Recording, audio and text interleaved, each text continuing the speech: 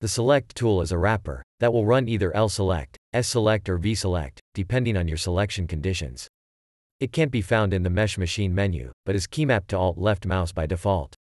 The same keymap Blender uses for loop selecting. You can change that keymap in the MESHmachine preferences, but note that it is very much intended to be the same as the keymap for loop select.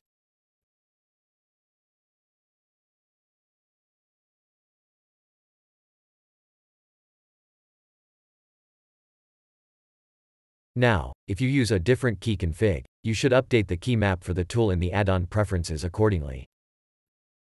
Users of the industry-compatible keymap may want to turn this into double-click and remove the Alt key modifier. Then just make an initial selection and press your loop select keymap, Alt left mouse in my case. It works exactly like L select or S select.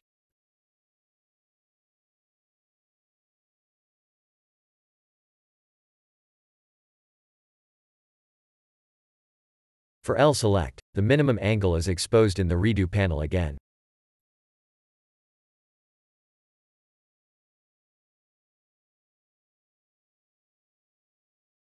And if you select a sharp edge, S-Select instead of L-Select will be invoked. But you can switch to L-Select, if you want.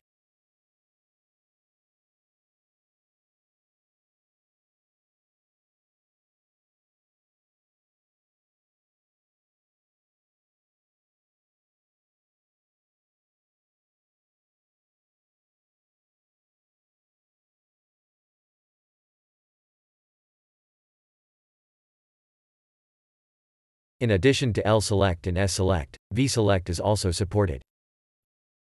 To access V-Select, you just have to be in vertex mode on a mesh with vertex groups. Then again make an initial selection and use the keymap. If your initial selection belongs to multiple vertex groups, the full V-Select modal HUD will come up. Check out the V-Select video for details.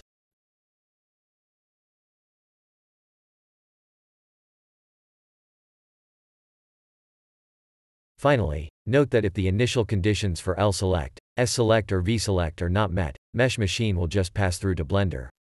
What this means is that you can still use Blender's native loop select, and via the very same keymap, just as long as you don't have any isolated selected edges present.